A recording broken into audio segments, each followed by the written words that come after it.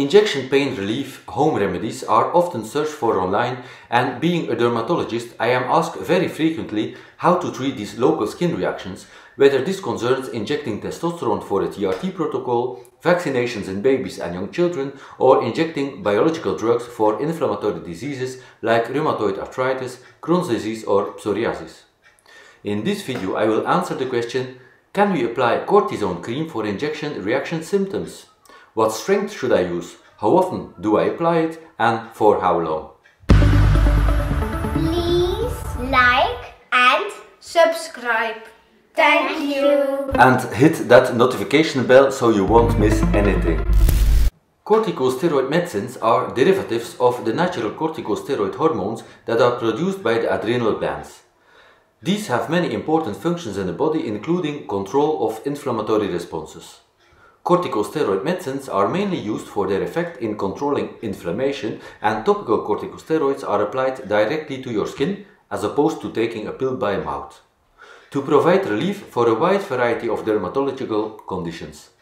They can also be used as a relief for post-injection pain and reactions if these are not infected, as I have explained in previous videos, that I will link under this one.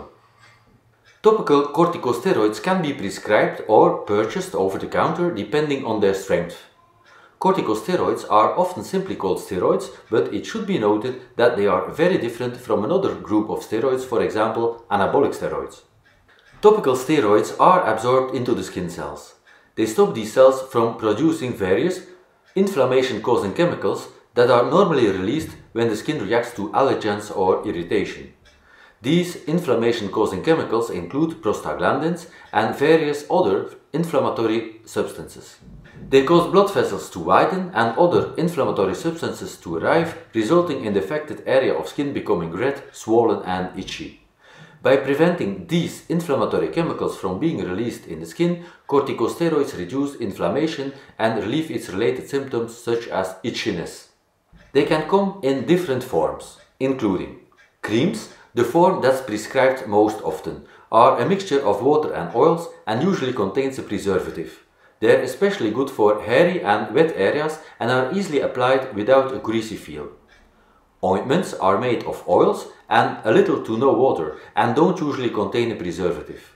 They're great for dry, scaly skin or areas with thick skin like the soles of your feet and the palms of your hands. Gels are made with water and propylene glycol and like creams they're easy to apply. Solutions, foams and lotions usually contain oil, water and other chemicals and are used on your scalp. Topical steroids can be divided into four different strengths. Mild, moderate, potent and very potent. The strength of a topical steroid is determined by a standardized test that measures the extent to which it can cause your blood vessels to constrict in the upper dermis the layer of skin that's just below the outer epidermis. Comparatively speaking, a very potent topical steroid is between 600 and 1000 times stronger than a mild one. The mildest one is hydrocortisone 1%. Of course, there are different brand names, very often this strength can be bought over the counter. Moderate strength cortisone creams are triamcinolone acetonide 0.1%, fluocinolone acetonide 0.025% and mometasone furoate 0.1%. Potent strength. Topical corticosteroids include dipropionate 0.05%, betamethasone dipropionate 0.05% and betamethasone valerate 0.1%.